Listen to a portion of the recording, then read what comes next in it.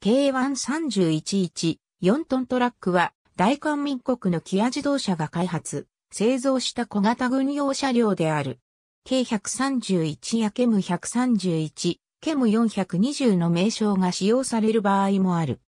大韓民国国軍では1970年代後半以降、アジア自動車が M606 を参考に開発した K111 を全軍で運用しており、K131 はこの後継として民間向け SUV のキア、スポーテージをもとに開発された。1998年からは K131 の民間向け仕様であるレトナも製造されている。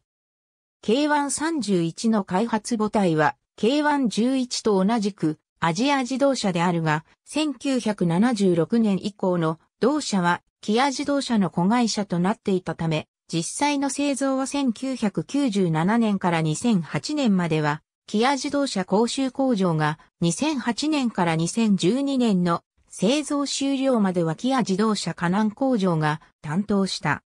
なお、2016年には後継となる K151 が軍に採用されているが、K131 は2012年から導入されたコランドスポーツ及びレクストンと共に依然として主力車両の座に止まっている。その他にもウクライナ軍がユーズ -469 の後継として採用を検討している。ありがとうございます。